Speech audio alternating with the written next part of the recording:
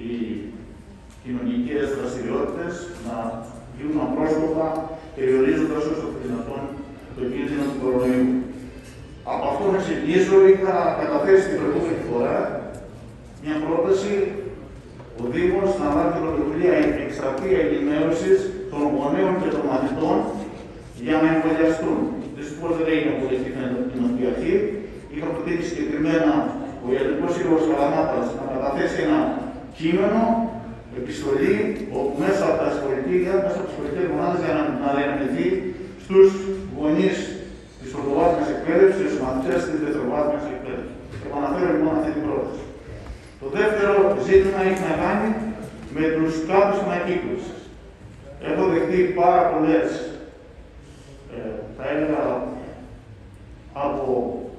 Συγγνώμη κύριε Χρυσόβρε, Ναι. είστε πολύ επάνω. Είστε Συγγνώμη, πολύ, κύριε. παρακαλώ πολύ κάποιοι να καθίσουν κάτω. Σας Ευχαριστώ από το πάρα πλάι. πολύ. Να τηρείτε η απόσταση, σας παρακαλώ πολύ. Έχω δεχτεί πάρα πολλές ενστάσεις από δημότες για το αν λειτουργεί ή όχι η ανακύκλωση.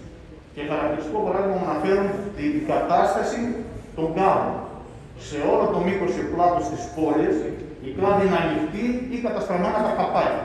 Λέει, είναι δυνατόν να λειτουργεί η ανακύκλωση με τους κάδου ανοιχτούς, καταστραμμένα τα καπάκια ή τέλος πάντων ε, ο, σε- μέσα σε μια τέτοια γίνεται η πραγματική και ουσιαστική ανακύκλωση. Και αυτό αποτελεί και ένα τρόπο αποστροφής και της νέας γενιάς, ότι θεωρεί ότι η ανακύκλωση δεν γίνεται ουσιαστικά. Πιστεύω λοιπόν ότι θα πρέπει να, η- να- να αναλυθεί μια τέτοια πρωτοβουλία αντικατάστασης ή επισκευής του συνόλου των κλάδων της ανακύκλωσης. Το τρίτο έχει να κάνει, το έδωσε ο κ. Οικονομάκος, από γονείς, συζήτηση από γονείς, πραγματικά τα δίδακτρα στις πολλέ φάρε είναι απαγορευτικά για τη μέση και κατώτερη οικογένεια.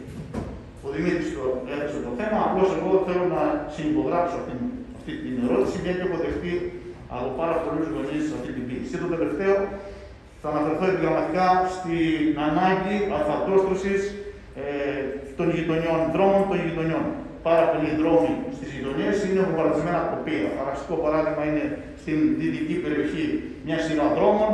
Με πρώτη θα αναφέρω τη Δημοκρίτου, ένα δρόμο που οδηγεί από την Αθηνών α, και μέσα από τη Ρωμανού μπαίνει στον, στον περιφερειακό δρόμο από το ΣΥΤΟ μέχρι τις γραμμές και μια σειρά δρόμων στις γειτονιές που μοιάζουν πραγματικά βομβαρδισμένα τοπία και θα πρέπει να άμεσα να παρέμβουμε πριν μπει ο χειμώνας. Σας ευχαριστώ πολύ κύριε Πρόεδρε.